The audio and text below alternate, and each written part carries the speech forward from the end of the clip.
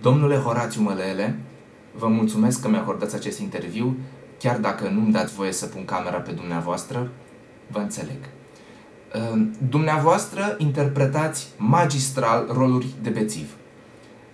Uh, Acum că v-am dat o sticlă de vin, puteți să-mi spuneți câte ceva despre viață și moarte? Uh, Despre femei, ce puteți să-mi spuneți? Cum sunt femeile?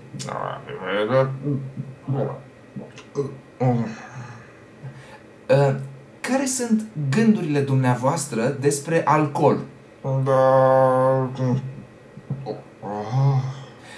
Eu am înțeles că dumneavoastră, pe lângă talentul actoricesc, uh, aveți și talent la desen, nu? Eu îi invidiez foarte mult pe oamenii care știu să deseneze. Dar cum se împacă aceste pasiuni, desenul și actoria? Uh, și în final, pentru că sunteți un om ocupat și nu vreau să vă rețin, uh, în ce piese vă vom vedea în această stagiune? Asta, teatru,